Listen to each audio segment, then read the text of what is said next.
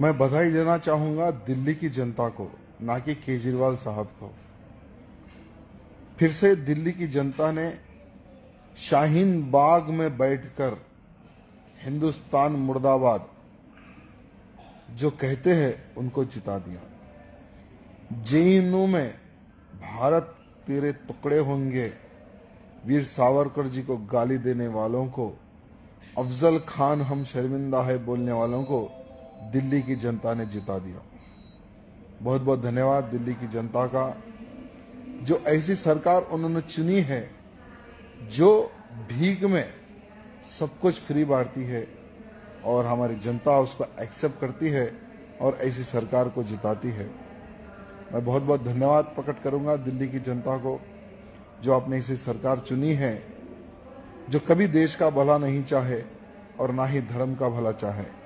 बस भला चाहे तो खुद की पार्टी का, अपने मंत्रियों का। लेकिन दिल्ली की जनता ये सोच रही है कि आज सब कुछ हमें फ्री मिल रहा है, लेकिन आने वाले समय में अगर ये फ्री की आदत अगर तुम्हें लग जाएगी ना तो ये बहुत नुकसानदायक होगा। ये दिल्ली की जनता को आज समझने की आवश्यकता है। ठीक है, अब तो हो गया चुनाव। अब पाँच साल और आपको हर चीज़ फ्री मिलेगी। मैं समझता हूँ कि आपको काम करने की भी ज़रूरत नहीं मिलेगी। अब आपको दस दस हज़ार शायद केजरीवाल साहब घर बैठे भी पैसे देंगे।